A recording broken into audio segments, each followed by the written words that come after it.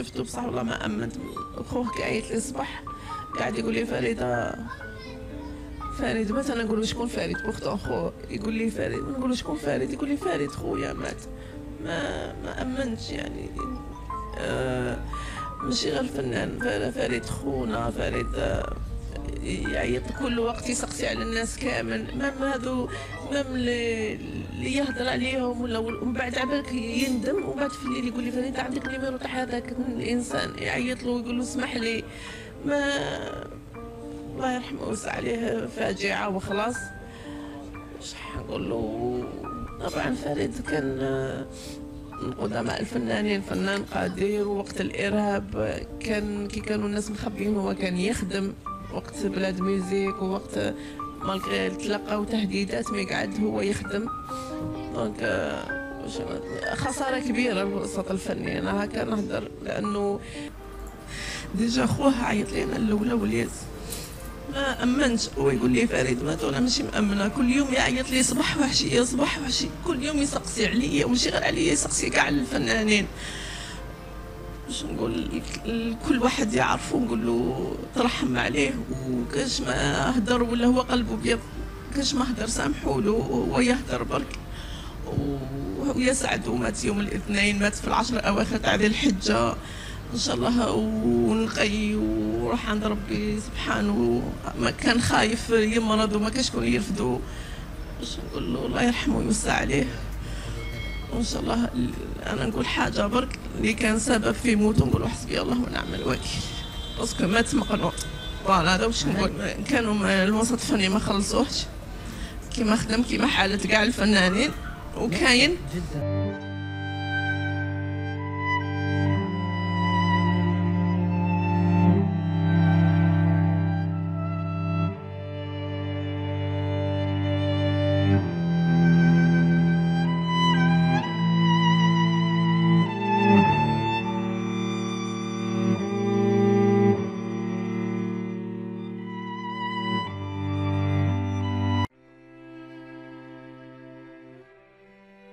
سمع بوفاته اليوم. صويلح يودع الركور بهذه الكلمات. تقدم الفنان القدير صالح أكرود بتعازيه الخالصة لأسرة الفنان الراحل فريد قسيسية والمعروف بفريد الركور والذي توفي صبيحة أمس الاثنين إثر تعرضه لذبحة قلبية. وكتب النجم أكروت على صفحته بأحد مواقع التواصل الاجتماعي إنا لله وإنا إليه راجعون. لم أعلم بوفاته إلا اللحظة. رحل فريد الفنان الجميل والإنسان طيب. اللهم اسكنه فسيح جناتك واجعله من ورثة جنة الفردوس. انتقل إلى رحمة الله الفنان فريد قسيسية أمس الاثنين عن عمر ناهز 62 عاما بعد تعرضه لأزمة قلبية وتم تشييع الفنان الراحل إلى مسواه الأخير بمقبرة المادحة بالجزائر العاصمة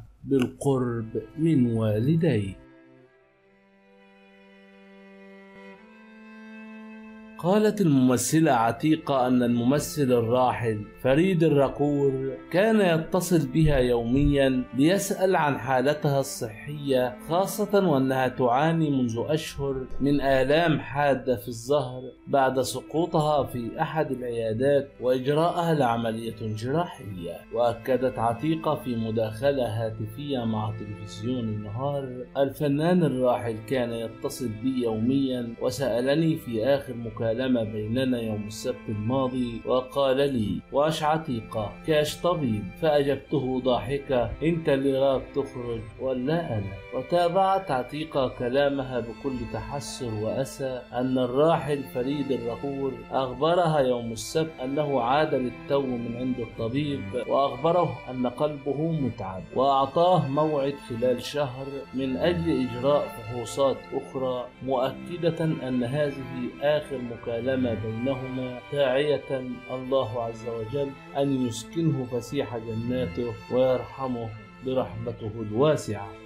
جنازة الفنان فريد الركور في مقبرة المالحة بالعاصمة بعد صلاة الظهر. ستشيع جنازة فقيد الفكاهة في الجزائر الفنان فريد قسيسة المعروف فنيا بالركور ظهر اليوم الاثنين بمقبرة الصفاصفة بالمالحة في العاصمة. يذكر أن فريد الركور توفي صباح اليوم الاثنين عن عمر ناهز 62 عاما بعد سكتة بعد سكتة قلبية تعرض لها في بيته بعين النعجة بالعاصمة والمعروف عن فريد الركور حسه الفكاهي الكبير. وقد نجح في أداء عدة أدوار نجح فيها بامتياز كما يعتبر واحد من أهم الوجوه الفنية التي اشتهرت في تسعينيات القرن الماضي خاصة في برنامج بلاد ميوزك. كما عرف فريد الركرور بصراحته الكبيرة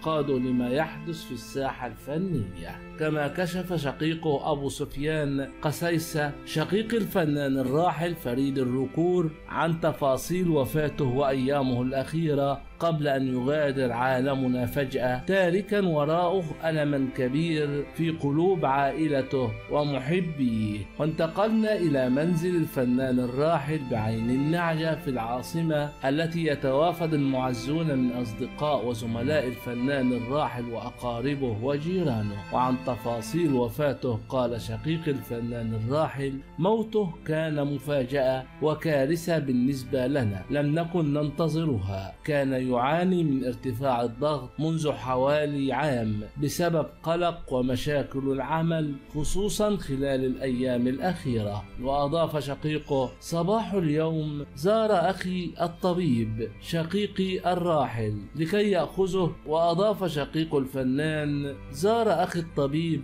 شقيق الراحل لكي يأخذه للقيام ببعض التحاليل البسيطة فوجده نائما.